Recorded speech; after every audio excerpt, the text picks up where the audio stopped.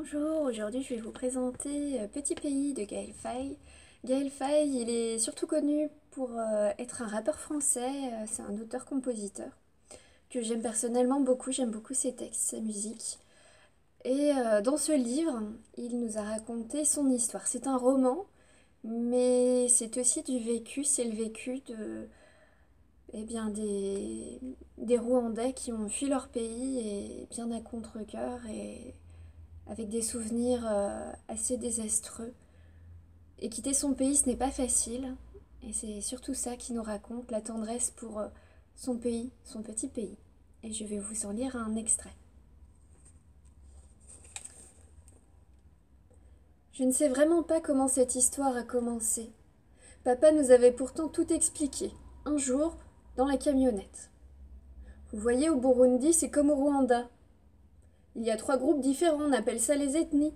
Les Hutus sont les plus nombreux, ils sont petits avec des gros nez. Comme Donatien j'avais demandé. Mais non, lui c'est un Zaïrois, c'est pas pareil. Comme Proté par exemple, notre cuisinier. Il y a aussi les Toua, les Pygmées. Eux passons, hein, ils sont quelques-uns seulement, on va dire qu'ils ne comptent pas. Et puis il y a les Tutsis comme votre maman. Ils sont beaucoup moins nombreux que les Hutus. Ils sont grands, maigres, avec des nez fins et on ne sait jamais ce qu'ils ont dans la tête. Toi, Gabriel, avait-il dit, en me pointant du doigt, tu es un vrai Tutsi. On ne sait jamais ce que tu penses. Là, moi non plus, je savais pas ce que je pensais. De toute façon, que peut-on penser de tout ça? Alors j'ai demandé La guerre entre les Tutsis et les Hutus, c'est parce qu'ils n'ont pas le même territoire? Non, ce n'est pas pour ça. Ils ont le même pays. Alors ils n'ont pas la même langue? Si, ils parlent la même langue. Alors, ils n'ont pas le même Dieu? Si, ils ont le même Dieu. Alors, pourquoi se font-ils la guerre? Parce qu'ils n'ont pas le même nez La discussion s'était arrêtée là. C'était quand même étrange cette affaire. Je crois que papa non plus n'y comprenait pas grand-chose.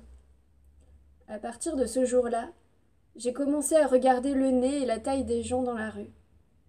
Quand on faisait des courses dans le centre-ville avec ma petite sœur Anna, on essayait discrètement de deviner qui était Hutu ou Tutsi. On chuchotait. Lui avec le pantalon blanc, c'est un Hutu. Il est petit avec un gros nez. Ouais, et lui là-bas, avec le chapeau, il est immense, tout maigre, avec un nez tout fin. C'est un Tutsi. Et lui, là-bas, avec la chemise rayée, c'est un Hutu Mais non, regarde, il est grand et maigre. Oui, mais il a un gros nez. C'est là qu'on s'est mis à douter de cette histoire d'ethnie. Et puis papa ne voulait pas qu'on en parle. Pour lui, les enfants ne devaient pas se mêler de politique. Mais on n'a pas pu faire autrement. Cette étrange atmosphère enflait de jour en jour. Même à l'école, les copains commençaient à se chamailler à tout bout de champ en se traitant de Hutu ou de Tutsi. Pendant la projection de Cyrano de Bergerac, on a même entendu un élève dire Regardez, c'est un Tutsi avec son nez. Le fond de l'air avait changé. Peu importe le nez qu'on avait, on pouvait le sentir. Voilà le prologue de Petit Pays qui a été adapté au cinéma et est sorti en mars cette année. Donc n'hésitez pas à le lire ou à regarder le film, je vous y invite fortement. C'est fort en sentiments, c'est fort en histoire et c'est magnifiquement dit. À bientôt